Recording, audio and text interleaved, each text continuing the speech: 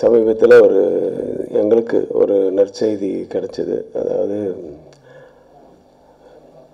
லிங்கா படுத்தும் போது இது என்னுடைய கதைன்னு ஒருத்தர் கேஸ் போட்டிருந்தார். அது வந்து அந்த கேஸு தள்ளுபடி ஆனது எங்களுக்கு மகிழ்ச்சியான ஒரு தருணம். அது இது எதுக்கு பத்திரிகையில் வந்து சொல்லணும் அப்படின்னு கேட்கலாம். அப்போ அந்த சூழ்நிலையில் படம் ரிலீஸ் ஆகிறது அவர் நாங்களே வந்து படம் ஃபாஸ்ட்டாக ஒரு ஆறே மாதத்தில் முடிக்கணும் அப்படின்னு அவருடைய பர்த்டேக்கு படத்தை ரிலீஸ் பண்ணணும் அப்படின்ட்டு எல்லாரும் எல்லார் பக்கமும் வேலை செஞ்சு கொண்டுருந்தோம். இருந்தோம் எனக்கு வந்து பயங்கர மன உளைச்சலை கொடுத்த ஒரு சம்பவம் அது.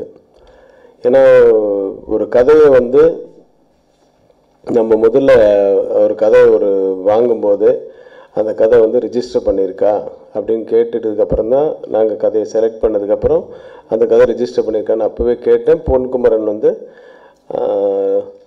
பதினொன்று ஒரு ஃபோர் இயர்ஸ் பிஃபோரே வந்து ரிஜிஸ்டர் பண்ணதுக்குரிய அச்ச அத்தாட்சி தட் இஸ் நிறைய ரைட்டர்ஸ் அசோசியேஷனில் ரிஜிஸ்டர் பண்ணது காமிச்சு.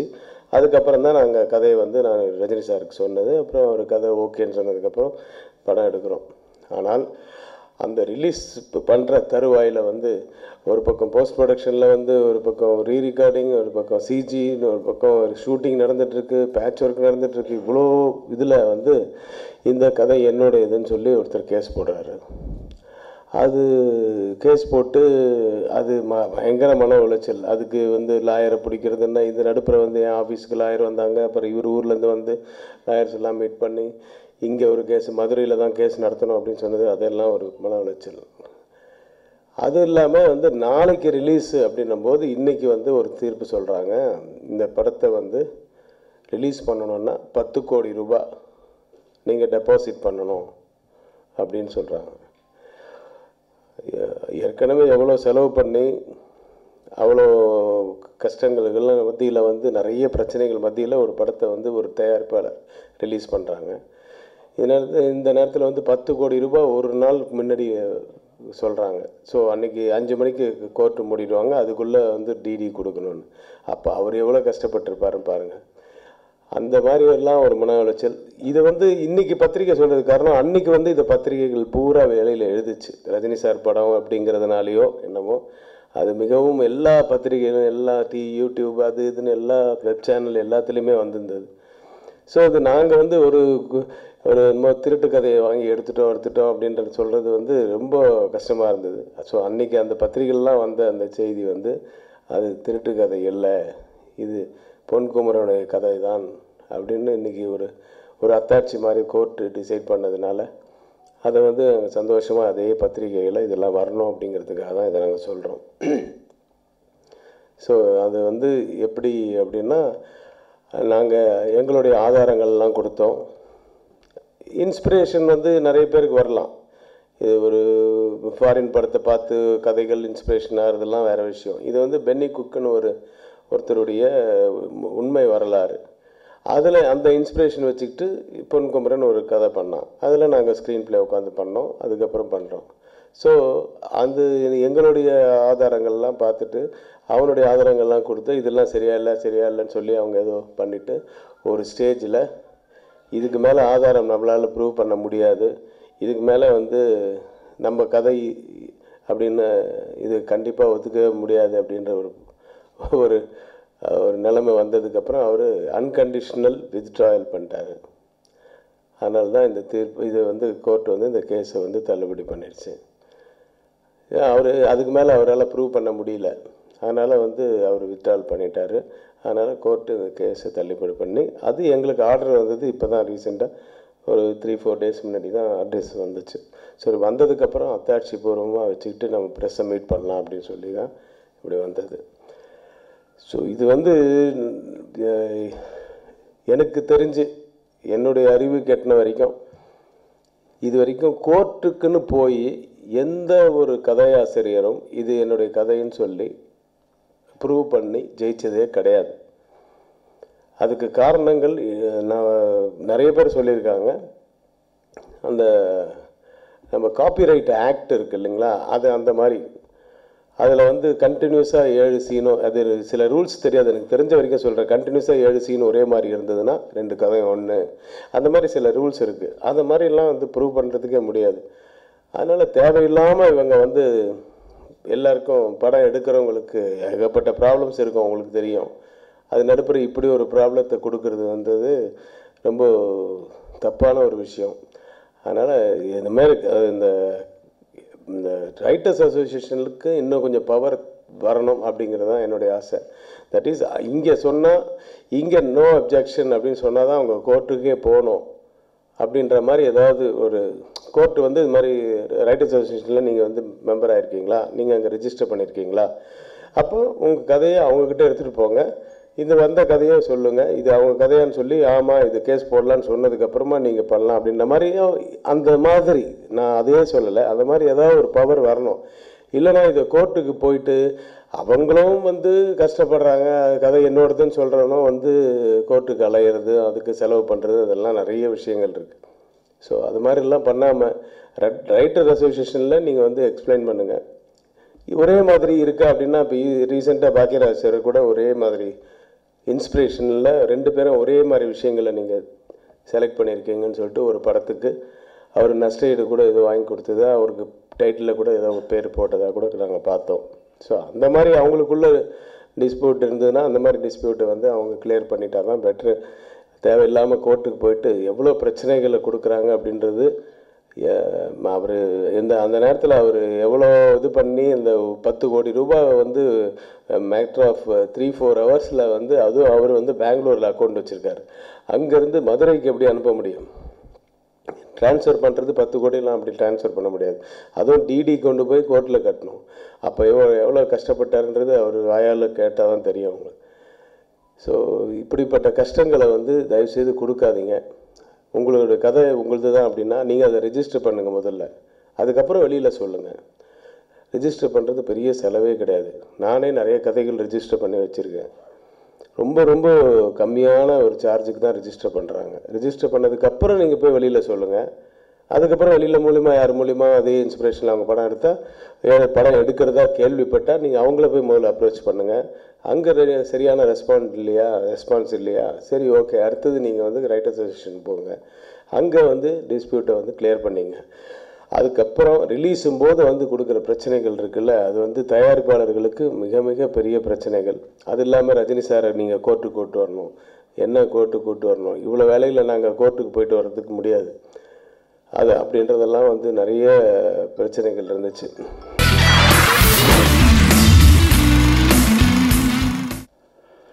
எல்லாருக்கும் வணக்கம். டாக்டர் ரவிக்குமார் சார் எல்லாம் சொல்லியிருக்காரு. ஆனால் நான் அந்த சந்தர்ப்பத்தில் ஒரு படம் ரிலீஸ் பண்ணுற அதுவும் ரஜினி சார் படம் ஒரு அஞ்சாயிரம் தியேட்டர் அதில் ஒரு வேர்ல்டு ரீஸ் பண்ணுற ஒரு சுச்சுவேஷன் எப்படி இருக்கும்ன்றது உங்களுக்கு எல்லாம் நல்லா தெரியும். ஒரு மூணு மணிக்கு எனக்கு அட்வொகேட் மதுரையிலேருந்து ஃபோன் பண்ணி சொல்கிறாரு இந்த மாதிரி ஒரு ஜட்ஜ்மெண்ட் ஆகிருக்கு ஒரு பத்து கோடி டெபாசிட் பண்ணி தான் படம் ரிலீஸ் பண்ணணுன்ட்டு எனக்கு என்ன பண்ணுறது புரியல. சரி அப்புறம் வேறு ஏதாவது காம்ப்ரமைஸ் பண்ண முடியுமா? எல்லாம் கேட்டு பாருங்கன்னு பண்ண. ஸோ அது ஆகலை.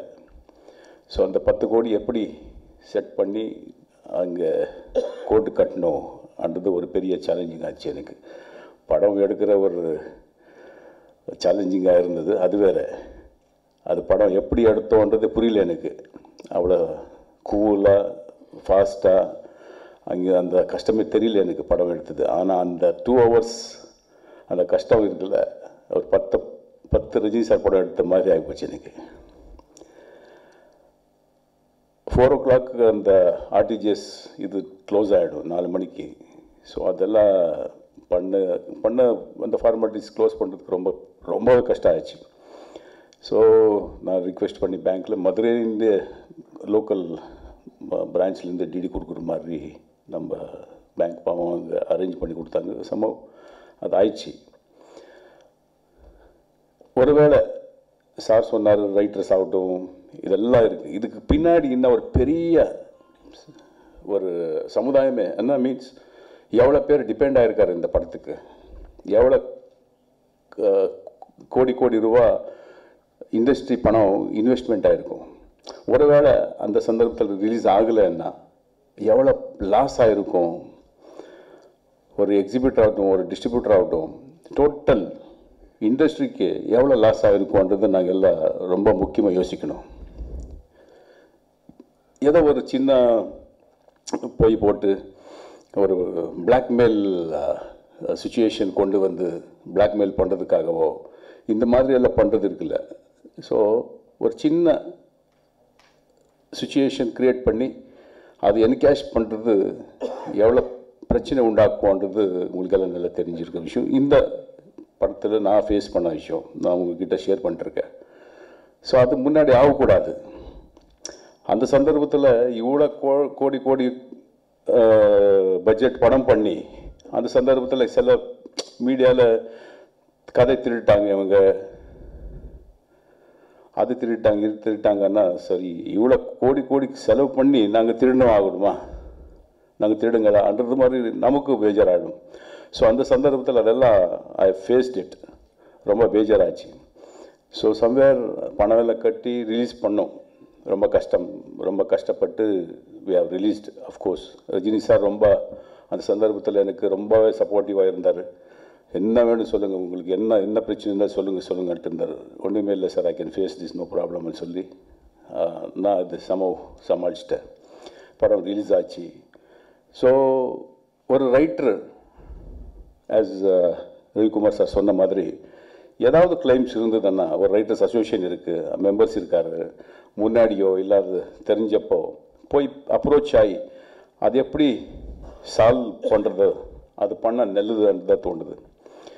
ஸோ இந்த மாதிரி ஏதோ லாஸ்ட் மூமெண்ட் வரைக்கும் வெயிட் பண்ணி கோர்ட்டில் போய் தெரியாமல் ஒரு லாஸ்ட் டே ப்ரீவியஸ் டே இல்லை ஒரு ரெண்டு நாள் முன்னாடி நோட்டீஸ் அனுப்பிச்சு அந்த பிளாக்மெயில் பண்ணாமல் அட்லீஸ்ட் எல்லோரும் இல்லை யாரும் அந்த மாதிரி பண்ணுறாங்க இல்லை பண்ணணும் அண்ட் தோன்ற இது அந்த மாதிரி இருக்கிறவங்களுக்கு நான் சொல்கிறேன் இதெல்லாம் இண்டஸ்ட்ரிக்கு நல்லது கிடையாது. அப்புறம் சத்தியமாக சொல்கிறேன் இவங்களுக்கு எப்பவும் வெற்றின்றது கிடையாது.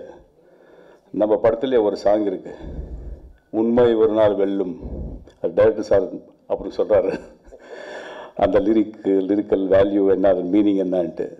ஸோ எப்போ ஒரு நாள் அதுக்கு ஒரு வெற்றி என்று தெரியும் வரும் வரும். அன்றுதான் அந்த சாங் தத்துவம். ரஜினி சார் எந்த மேதியிலே பேசினாலும் கூட ஒரு ஒரு மெசேஜ் சொல்லுவார். ஸோ இந்த படத்தில் அந்த ஒரு ஒரு சாங் இருக்குது ஸோ நான் என்ன சொல்ல வரேன்னா ஏதோ ஒரு யாரோ டார்கெட் பண்ணுறதுக்காகவோ இல்லை இந்த மாதிரி படம் கதை எந்தன்னு சொல்லிட்டு பிளாக்மெயில் பண்ணுறதாகட்டும் இதெல்லாம் பண்ணாமல் சினிமா இண்டஸ்ட்ரிக்கு இதெல்லாம் வரக்கூடாதுன்னு சொல்கிறேன் நான்.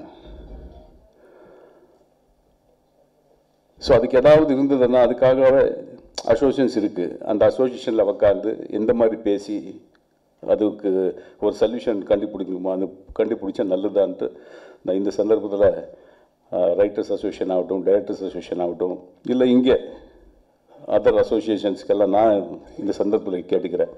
அவங்க எல்லாம் கூப்பிட்டு அட்லீஸ்ட் ஒரு சின்ன ஒரு மெசேஜ் பாஸ் பண்ண நல்லா இருக்கும்ன்றது எனக்கு தோணுது. இது ஆன மேலே ஒரு கோர்ட் அப்ரோச் ஆகுறதுன்றது மதுரை எவ்வளோ வாட்டி போயிட்டு வந்தேன் நான். அங்கே போய் இந்த கட்டுக்கட்டில் நிற்கணும் அந்த பாக்ஸில் நிற்கணும் ஆன்சர் பண்ணணும் இதெல்லாம் தேவை நமக்குன்னு தோணுது. ஸோ இதெல்லாம் மென்டலி எவ்வளோ ப்ராப்ளம் ஆயிருக்குன்னா ஸோ இப்போ நாங்கள் அது ஜெயிச்சிட்டோம்.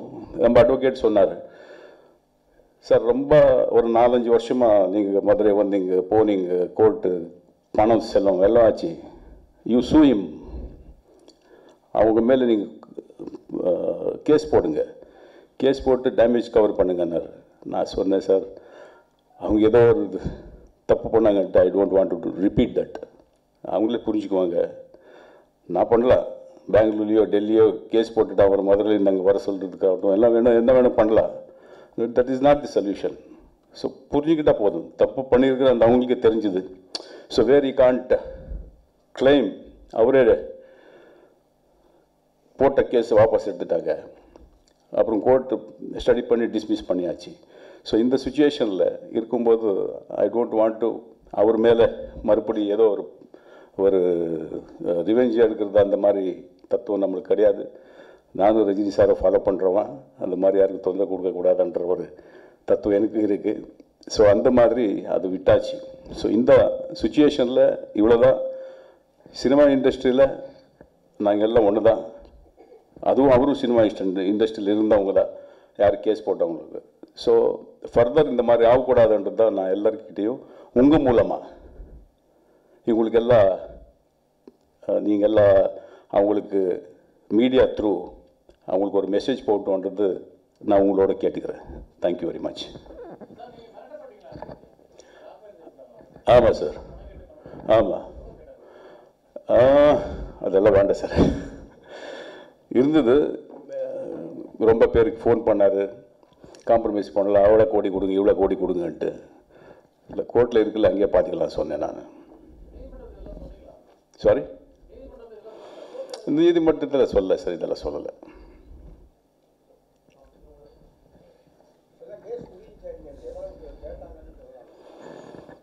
யார்? அவங்கள? அவங்க கேட்டாங்க ஒரு பத்து கோடியில் எவ்வளோ கொடுக்க முடியும்னு கேட்டார். என்ன ஒன்றுமே கொடுக்க முடியாதுன்னு சொன்னேன் கதை திருடி இருந்தால் தானே நான் கொடுக்கணும். நான் என்ன கொடுத்தாலும் உங்களுக்கு நான் திருட்டுற மாதிரி ஆகிடும் நான் ஒரு ரூபா கூட கொடுக்க மாட்டேன். நீ அவ- அவர் கேட்டார் ஏதோ கேட்டார் ஒரு ரூபா கூட ஒரு ரூபா கொடுக்க மாட்டேன். நீ பத்து ரூபா கொடுப்பா பத்தாயிரம் கூட கூட நான் கொடுப்பேன் கொடுக்க மாட்டேன். கேஸ் கோர்ட்லேயே ஜெயிக்கணும். ஏன்னா நீ என் மேலே போட்டிருக்கிறது என்னன்னா திருட்டு கேஸ். நான் உனக்கு பணம் கொடுத்து காம்ப்ரமைஸ் பண்ணிக்கிட்டேன்னா நான் திருடம் ஆயிடுவேன். நான் மட்டும் இல்லை ரவிக்குமார் ரஜினி சார் எல்லா அப்புறம் நம்ம நீ யார் யார் மேலே கேஸ் போட்டிருக்க? ரைட்டர்ஸ் அசோசியேஷன் எல்லாருக்கும் அப்புறம் திருடுவோம் திருடுற மாதிரி ஆயிடுவோம் நாங்கள் நான் கொடுக்க மாட்டேன். எவ்வளோ வருஷம்னாலும் நான் ஃபைட் பண்ணுவேன். ஸோ அந்த பத்து கோடி நான் இங்கே கட்டின மேலே அது நான் சுப்ரீம் கோர்ட் போயாச்சு. சுப்ரீம் கோர்ட்டில் இம்மிடியட் ஒரே ஹியரிங்கில் சொன்னார். எந்த ஆதாரத்தை வச்சு பத்து கோடி கேட்டாங்க புரியல எனக்கு. இம்மிடியேட்டாக அந்த பணம் வாபஸ் கொடுங்க. டிபாசிட் பண்ணிருக்கிற பணம் இம்மிடியேட்டாக கொடுங்க வாபஸ். ப்ரொடியூசருக்கு இம்மிடியேட்டாக அந்த டிபாசிட் கொடுத்துருங்க வாபஸ்ன்னு சொல்லி ஒரு கோடி ரூபாய் டிபாசிட் வைக்க சொன்னார். பேங்க் கேரண்டி அதை வச்சுட்டு கேஸ் நடுங்க. சிக்ஸ் மந்த்ஸுக்குள்ளே இந்த கேஸ் முடிக்கணும் வந்துட்டு சுப்ரீம் கோர்ட் ஆர்டர் பண்ணிச்சு. ஆனால் அஞ்சு வருஷம் ஆச்சு.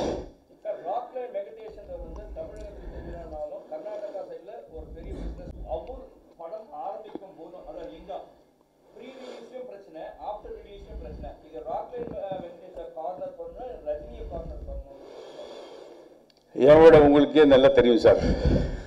இது நான் ஆன்சர் பண்ணுறோட உங்களுக்கே நல்லா தெரியும். யாரை கார்னர் பண்ணுறதுக்காக இந்த பிரச்சனை எல்லாம் பண்ணாங்க இந்த பிரச்சனையை உண்டாக்குனாங்கன்றது என்னோட உங்களுக்கு நல்லா தெரியும்.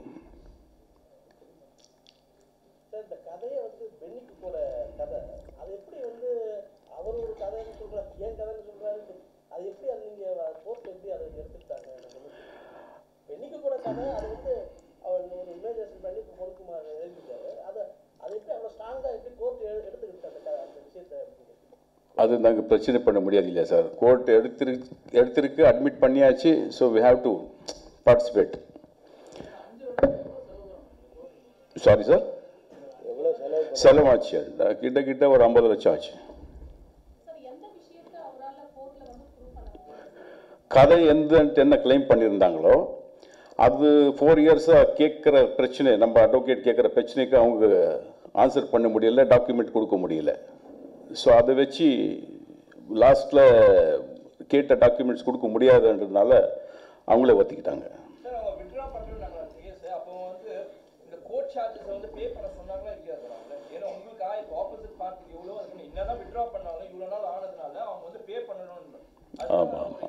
அந்த மாதிரி தான் பே பண்ண இல்லை இல்லை. அந்த மாதிரி ஒன்றுமே ஆர்டர் ஆகலை. நாங்கள் டிமாண்ட் வைக்கல சார் அவங்க மேல கோர்ட் ஏதாவது நடவடிக்கை எடுக்கணும்னு ஏதாவது அஹ், இது பண்ண பரிந்துரை செஞ்சு இல்லைம்மா இல்லை. அந்த மாதிரி ஒன்றுமே பண்ணல அது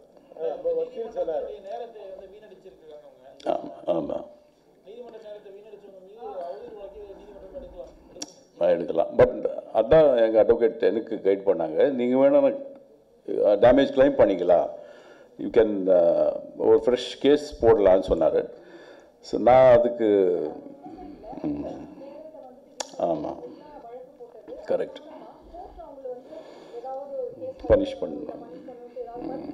இல்லை இல்லை ஒன்றுமே பண்ணலாம். பண்ணல அந்த மாதிரி ஒன்றுமே பண்ணலாம்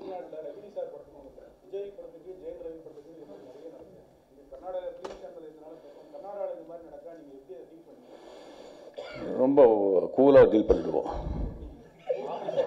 அந்த கூலாக ரொம்ப கூலாக டீல் பண்ணிடுவோம்.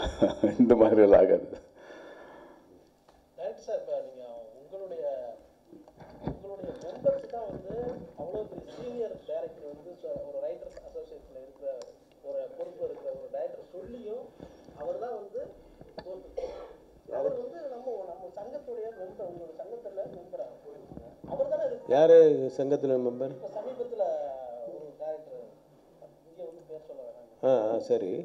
ஸோ அவர் தான் வந்து கோர்ட்டுக்கு போகிறாரு அத்தனைக்கும் அவர் சொல்லி ஆமாம் அதான் அந்த மாதிரி கோர்ட்டுக்கு போகிறதுனால உங்களுக்கு பிரயோஜனம் இல்லை அப்படின்றது தான் நாங்கள் சொல்கிறேன் என்ன பிரயோஜனம்? இது வரைக்கும் வந்து கோர்ட்டுக்கு போயிட்டு இந்த மாதிரி ஜெயிக்கவே இல்லை யாருமே ப்ரீவியஸா ஒரு கேஸ் இதே மாதிரி கதை திருடி போனாங்க சார் கோர்ட்டு கோர்ட்டுக்கு போன போது நீங்க ரைட்டர்ஸ் அசோசியேஷன் போனீங்களா இல்லையா ரைட்டர்ஸ் அசோசியேஷன்ல போய் லெட்டர் வாங்கினான்னு சொல்லிட்டு அமிச்சாங்க சார் இதுக்கு மேல ஒரு விஷயத்துல சார் ஓகே அஹ் விஜயோட படத்துல ச- சர்க்கார் இருக்கு சார். சர்- சர்க்காருக்கும் அமிச்சாங்க சர்க்காருக்கு அப்புறமா ஒரு படம் விக்ரம் இல்ல இல்ல பிகில் பிகிலுக்கு அந்த பையன் ஒருத்தர் வந்து ஒரு அசிஸ்டன்ட் கேபி செல்வான் கேபி செல்வான் போன போது நீங்க முதல்ல ரைட்டர்ஸ் யூனியன்ல லெட்டர் வாங்கிட்டு வாங்கன்னு இப்ப சொல்லாங்க அநேகமா உங்க கேஸ்க்கு அப்புறமா அது நடந்து ஆ இது அது ரீசெண்டாக நடந்திருக்கு. அதான் அதுதான் உண்மையாக முதல்ல கோர்ட்டில் நீங்கள் அந்த case எடுத்துக்கணுன்னாவே no objection from writers association எடுக்கணும். அந்த அளவுக்கு ரைட்டர்ஸ் அசோசியேஷன் வந்து நல்ல ஸ்ட்ராங்காக இருக்கணும் அப்படிங்கிறது தான் என்னோட விருப்பம்.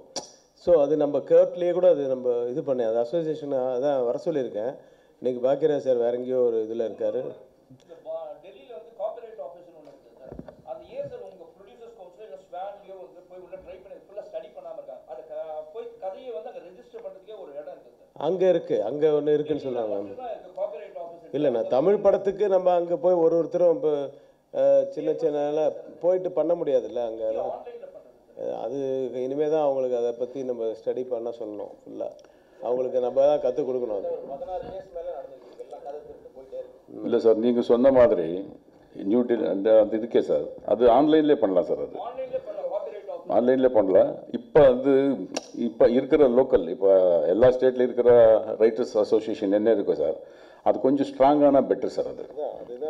நீங்கள் சொன்ன மாதிரி இப்போ அந்த ரைட்டர்ஸ் அசோசியேஷனில் இந்த மாதிரி சுச்சுவேஷன் ஆகாமல் யாரும் மிஸ்யூஸ் பண்ணுறதுக்கு ஆகாமல் இந்த ரெண்டு பேர் கதை திருடுறதுனால ஒட்டுமொத்த ரைட்டர்ஸையும் வந்து பாதிக்கும் ஆமாம் ரெண்டு பேர் பண்ணுறது எல்லாரும் பாதிக்கும் இப்போ இந்த வந்து உங்க உங்களுடைய படத்துல மட்டும்தான் இது வந்து லிங்காவில் மட்டும்தான் இது பொய் நிரூபிக்கப்பட்டிருக்கு மற்றபடி அதுக்கு அடுத்த அடுத்த பிறகு நடந்த விஷயங்கள்ல வந்து கோர்ட் வந்து கண்டிச்சிருக்கு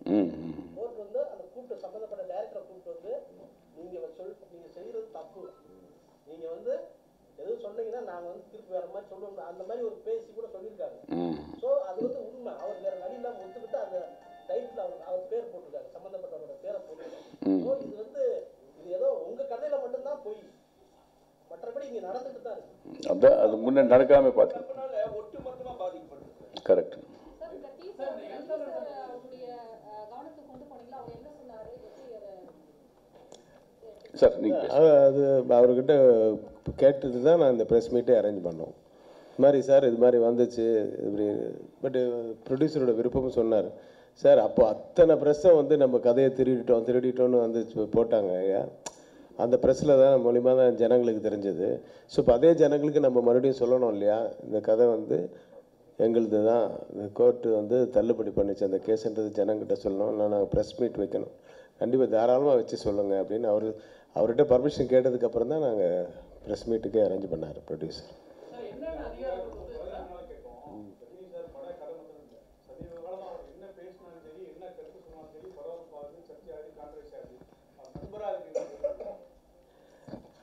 அது நண்பராக தானே இருக்கேன் நான். நான் பொலிட்டிக்கல் அவர் கூடவா இருக்கேன்.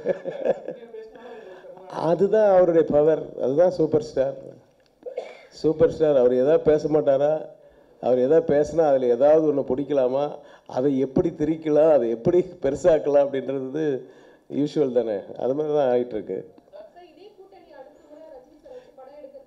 கூட்டணியா? சினிமா கூட்டணியா? அது வந்து அதாவதுங்க அது வந்து யார் சொல்லுவாங்க? அது அவர் தான் பவர் பவர்ஃபுல் மேன் தான் சொல்லணும். நீங்கள் தான் டேரக்டரு இந்த கதை எனக்கு பிடிச்சிருக்கு. அவன் தான் ரைட்டரு இவர் தான் ப்ரொடியூசர்னு அவர் தான் சொல்லணும். அப்படி தான் சொன்னது இது. ரெண்டே நாளில்ங்க ரெண்டே ரெண்டு நாளில் தான் ஒரு ஒரு நாள் இப்போ கதை கேட்டார். நைட்டு யோசித்து நாளைக்கு சொல்கிறேன்னாரு நான் யோசிச்சுட்டு ரொம்ப புது இது- இந்த பென்னி குக் கதை வேறு அவருக்கு நல்லா தெரியும். அவருக்கு எப்பவுமே இந்த பழசு அந்த நடந்த வரலாறுகள் அதெல்லாம் ரொம்ப படிப்பார். அதே மாதிரி அந்த காலத்து இது எல்லாம் இதிகா இது இதிகாசங்கள் எல்லாமே ரொம்ப படிப்பார். அந்த கதையிலெல்லாம் அவருக்கு ரொம்ப இது லைக் பொன்னி பொன்னியின் செல்வன்லாம் அத்தனை வாட்டி படிச்சிருக்காரு. ட்ராமாஸ் போட்ட பா பார்ப்பாரு இந்த மாதிரி. ஸோ அந்த மாதிரி அவர் படிச்சு இப்போ என்ன என்ன கேட்டாங்க அதே பத் ரெண்டு நாள்ல நம்ம ரெண்டு நாள்ல நம்ம அந்த மாதிரி ரெண்டு நாள்ல பொன்குமரன் கதையை அவர்கிட்ட ஒரு வாட்டி அவன் தான் வந்து நேராக சொன்னான். சொன்னதுக்கப்புறம் அன்றைக்கி நைட்டு வச்சார் மறுநாள் வந்தார். இது எப்போ உடனே ஸ்டார்ட் பண்ண முடியுமான்னு. ஸ்டார்ட் பண்ணிடலாம் சார் அப்படின்னு. "அஹ், உங்களுக்கு ராக்லைன் வெங்கடேஷ் தெரியுமா அப்படின்னு? நல்லா தெரியும் சார் எனக்கு. ஏன்னா எனக்கு சமுத்திரம் போது எனக்கு ஒன்று வந்து அட்வான்ஸ் கொடுத்தாரு. அவருக்கு ஒரு படம் பண்ணணுன்றதுக்காக. சமுத்திரம் டயத்தில். தட் இஸ் அது ஒரு ப பத்து பன்னெண்டு வருஷம். அப்போ இருந்து தெரியும். அது இல்லாமல் சமுத்திரத்தில் அங்கே ஒரு பிரச்சனைகள் நடந்தது. க உங்களுக்கு எல்லாருக்கும் தெரியும். இப்போ மைசூரில் பெரிய அடிதடி எல்லாம் நடந்துச்சு.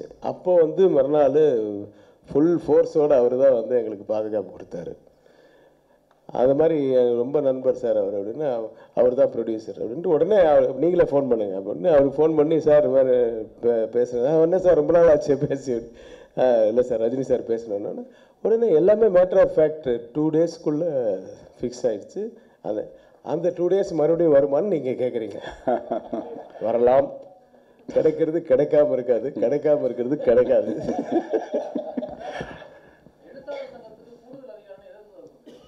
சார் அதிகாரம்னா இப்போ அந்த அந்த அந்த பாடியை வந்து ரெக்கக்னைஸ் பண்ணணும் சார். கோர்ட் வந்து இப்போ ரைட் அசோசியேஷன் வந்து தட் இஸ் ஒரு கதை திருட்டுன்னு ஒருத்தர் மேலே ஒரு படத்து மேலே கேஸ் போடுறாங்கன்னா அவங்க முதல்ல மெம்பராக இருந்தால் அவங்க ஏற்கனவே ரெஜிஸ்டர் பண்ணியிருக்கணும் இல்லையா?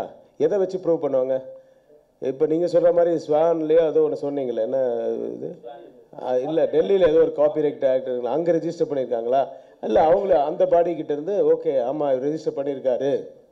இவருடைய கதை வந்து அவுட்லைன் இது. எங்களுக்கு தெரியும் இதுதான் இது எடுக்கிறாங்க.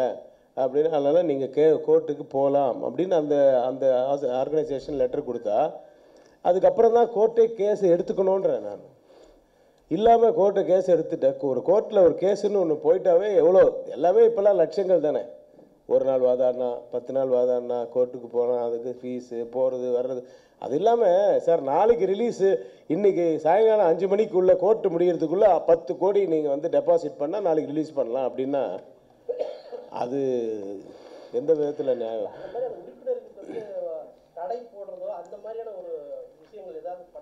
அதான் இப்போ அது அதான் அந்த அசோசியேஷன் ரொம்ப ஸ்ட்ராங்காக இருந்ததுன்னா தானாகவே பயப்படுவாங்க. இப்போ இந்த மாதிரிலாம் நீ வந்து நீ ஏன் கோர்ட்டில் இருந்து வித்து வித்ரா வாங்கியிருக்கல? அப்போ நீ போட்டது தப்பான கேஸ் தானே? உனக்கே உன்னாலே ப்ரூவ் பண்ண முடியல. ஏன்டா அப்படி இதெல்லாம் பண்ணேன்னு சொல்லிட்டு அவனை வந்து மெம்பர்ஷிப்லேருந்து கேன்சல் பண்ணணும். அந்த மாதிரி பவர்ஃபுல்லாக இருக்கணும் ஒரு அசோசியேஷன் ஆர்கனைசேஷன் வந்து அந்த மாதிரி பவர்ஃபுல்லாக இருக்கணும் அப்படின்றது தான் விருப்பம் எல்லாரோட விருப்பமும். அது பாக்கியராஜ் சார்கிட்ட பேசி அதெல்லாம். இன்றைக்கி அவர் வர சொன்ன மனோஜ்குமார் வரேன்னு சொன்னார். வேலையாக இருக்காருன்னு. ஜாலி என்னன்னு தெரியும். நீங்கள்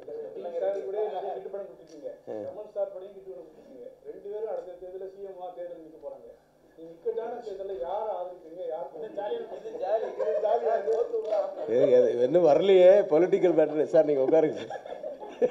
இல்லை இவர் இவர் கொஸ்டினுக்கு ஒரு ஆன்சர் பண்ணிடுறேன் சார். மேடம் கேட்டாங்க இல்லை இல்லை இந்த கொஸ்டினுக்கு இல்லை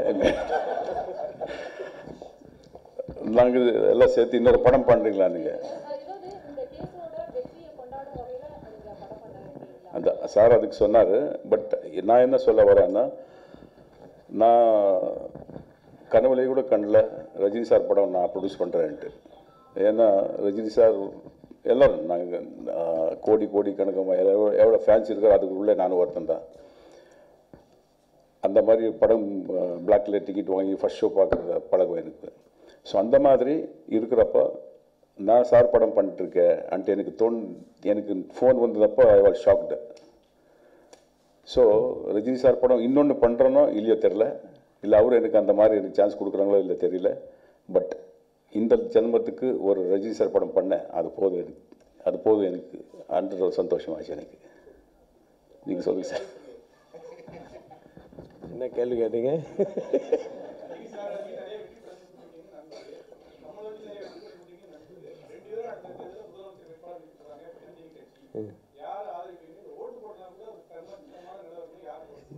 இப்போ இனிமேல் அவங்களுக்கு நண்பராக இல்லாமல் இருக்கணும்ன்ட்டு நீங்கள் பிளான் பண்ணுறீங்க ஆ?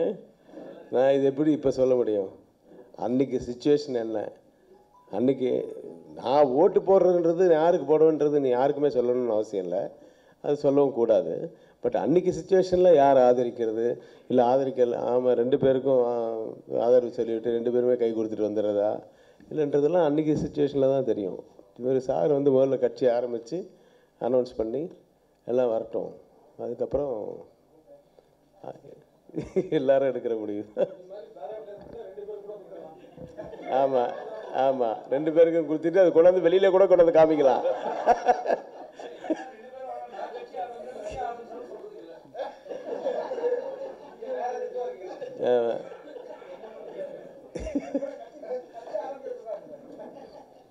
ஆ, கட்சி ஆரம்பி ஆனால் இவர் வந்து அடுத்த படம் ரஜினி சார் படம் பண்ணுறாரு பண்ணலையோ பட்டு மிகப்பெரிய படங்கள் பண்ணிகிட்டு இருக்காரு மூணு படம் மிகப்பெரிய படம். வேர்ல்ட் லெவல் படங்கள் தான் பண்ணிகிட்டு இருக்காரு ஆ ஆக்டிங்கும் நல்லா பண்ணார் தமிழ் படங்களும் நடிப்பார். அங்கே கர்நாடகாவில் நல்ல வெல் நோன் ஆர்டிஸ்ட் ஆ குருட்சேத்திரம் அங்கே பெரிய ஹிட்டு அதில் நடிச்சிங்களோ? நான் பார்க்கல.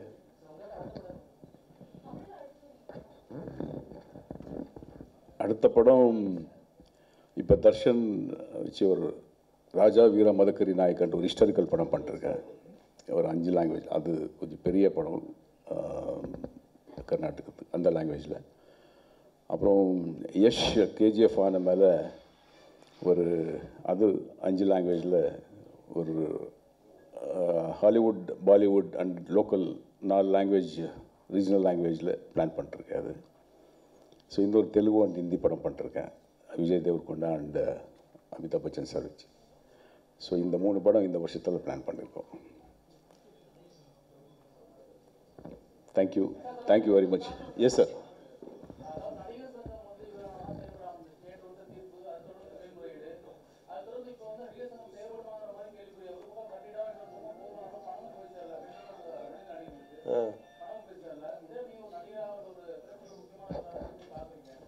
ரொம்ப கஷ்டமாக இருக்குது உள்ளுக்குள்ளே ஃபேமிலிக்குள்ளே தகராறு வந்தால் எவ்வளோ கஷ்டப்படுவோமோ அது மாதிரி தான் எல்லாம் ஒருத்தர் ஒருத்தர் தேவையில்லாமல் இது பண்ணிக்கிட்டு நீ பெரிய ஆளா நான் பெரிய ஆளான்னு காமிக்கணுன்ற அவசியமே இல்லை. இதெல்லாம் கோர்ட்டுக்கே போகக்கூடாது.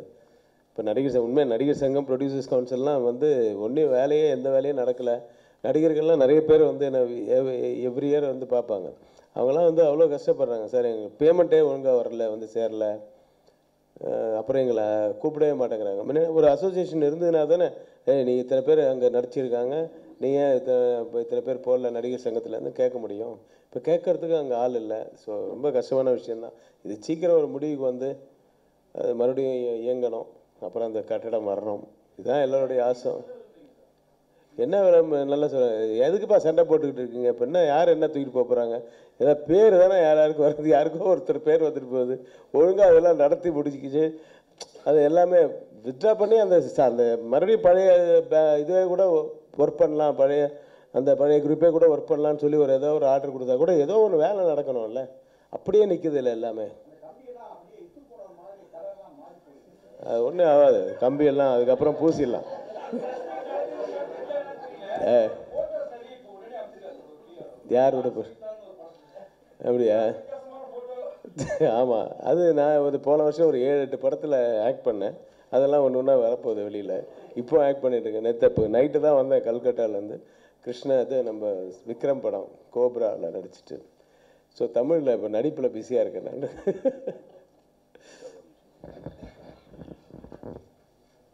நம்ம லிங்கா படத்தில் ஒரு சாங் இருக்குது அது உங்களுக்கு எல்லாம் தெரிஞ்சிருக்கு. அந்த சாங் ஃபஸ்ட் டைம் சார் கேட்டு வச்சுறது உண்மை ஒரு நாள் வெல்லும் என்ற விஷயத்தை. அந்த பிக்சரேஷன் ஆகட்டும் அந்த சாங் லிரிக்ஸ் மீனிங் மீனிங் ஆகட்டும் ரொம்ப நல்லா பிடிச்சிருந்தது அன்றைக்கி அது- அது நான் பத்து வாட்டி எப்பவும் கேட்டு கேட்டு சார் இது வச்சிடலாம் சார் இது வச்சுட்டு. அந்த பிக்சரேஷன் எல்லாம் அப்படி பிளான் பண்ணார். ரொம்ப இப்போவும் அந்த சாங் எப்போ கேட்டாலும் தெரியாமல் கண்ணில் தண்ணி வந்துடும் அப்புறம் எவ்வளோ மீனிங்ஃபுல்லாக இருக்குன்றது ஒரு யாராவது ஒரு ஆனால் நாங்கள் எல்லாம் ஒரு மனிதர் டெஃபினட்டாக அந்த சாங் புரிஞ்சுக்கிட்டால் போதும்டா வாழ்க்கையை.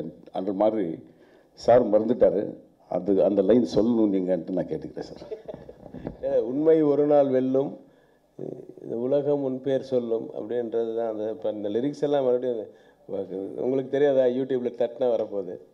ஸோ ஃபுல் மீனிங் கரெக்டாக அது வைரமுத்து சூப்பராக எழுதியிருந்தார். அது சுச்சுவேஷன் சாங் அது. ரொம்ப அருமையாக அமைஞ்ச படம். அது கிளைமேக்ஸ் மட்டும் கொஞ்சம் சொதப்பிடுச்சு. அதில் இல்லைன்னா அது மிகப்பெரிய வெற்றி படம். ஆனால் இப்போவும் ரஜினி சார் இருக்கல சார் நூற்றி ஐம்பத்தெட்டு கோடி கலெக்ட் பண்ணியிருக்கு சார். எல்லாம் வெளியில் எப்படி வேணால் பேசிட்டோம் நூற்றி ஐம்பத்தெட்டு கோடி கலெக்ட் பண்ணியிருக்கு. எனக்கு ரொம்ப பிடிச்ச படம் அப்படின்னு ஒன் எயிட்டி கலெக்ட் பண்ணியிருக்கான் ஒன் எயிட்டி கலெக்ட் பண்ண ஆனால் ஏதோ ஒரு நாலு பேர் ஏதோ ஒன்று ஏதோ ஒன்று பேசி அதுக்கப்புறம் அவங்கெல்லாம் இப்போ எங்கே இருக்காங்கன்னே தெரியல பாருங்க. இல்லையா? அதான் உண்மை ஒரு நாள். வெல்லும். இந்த உலகம் முன் பேர் சொல்லும்.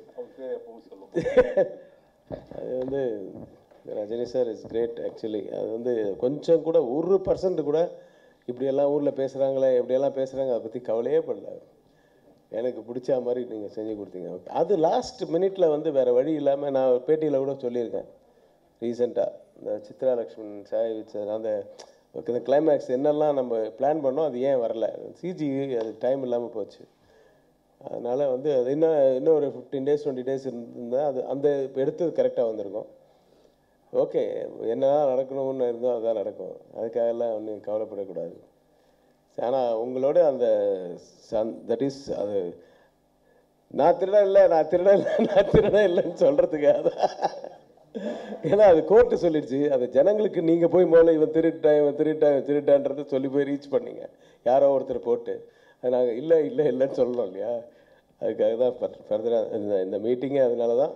அது மட்டும் இல்லாமல் இந்த மாதிரி ஃபர்தராக எதுவும் நடக்கக்கூடாது இண்டஸ்ட்ரிக்கு அது எவ்வளோ பாதிப்பு அப்படிங்கிறது ஒரு ப்ரொடியூசராகவும் ஒரு டைரக்டராகவும் அது ஒரு ரைட்டராகவும் அவன் எவ்வளோ அழுதுருப்பான்? எவ்வளோ பிரச்சனைகள்? ஏன்னா அப்போ அவனுக்கு எவ்வளோ குற்ற உணர்வு இருக்கும் அஃப்கோர்ஸ் என்னுடைய கதைகள் நான் வந்து எந்த படத்துலையும் என்னோட கதைன்னு நான் போட்டுக்கவே மாட்டேன். எல்லாம் எவ்வளோ இன்வால்வ் ஆகியிருந்தால் கூட அது யார் ஒரு லைன் சொன்னாலும் ஒரு ஃபுல் கதை சொன்னாலும் அவங்க பேர் தான் போடுவோம் ஆனாலும் அந்த கதையை நான் இருந்தாலும் ஓகே பண்ணி ஸ்க்ரீன் ப்ளே பண்ணி டைரக்ட் பண்ணுறேன் அதனால் என் பேரில். அந்த படத்தை ப்ரொடியூஸ் பண்ணுறனால அவர் பேரில். அந்த படத்தில் ஹீரோ நடிச்சதுனால அவர் பேரில். இந்த கதையை வேற யாரும் ப்ரொடியூசர்ஸ் கவுன்சிலு கூட இல்லை. இன்னும் ரெண்டு மூணு பேர். மொத்தம் அஞ்சு பேர் மேலே அந்த கேஸ் அவங்க வந்து போட்டாங்க. போலீஸ் டிபார்ட்மெண்ட் வேறு என்ன பண்ணி? என்ன பண்ணுவாங்க போலீஸ் சார் நீ எவ்வளோ ஒருத்தன் எவ்வளோ கற்று சொல்கிறேன் போலீஸ் டிபார்ட்மெண்ட் நாங்கள் என்ன சார் பண்ணுவோம் எங்கள் மேலே வேறு போட்டிருக்காங்க கேஸுன்னு ஸோ இதெல்லாம் சரி இது வந்து நடந்துச்சு. வேறு யாருக்கும் நடக்கக்கூடாதுன்னு வேண்டிக்கிறோம். அதுக்கு வந்து இது வந்து ஜனங்கிட்ட கொண்டு போய் தெரிவிக்கணுன்றதுக்காக அவங்களெல்லாம் மீட் பண்ணணும்னு மீட் பண்ணுவோம்.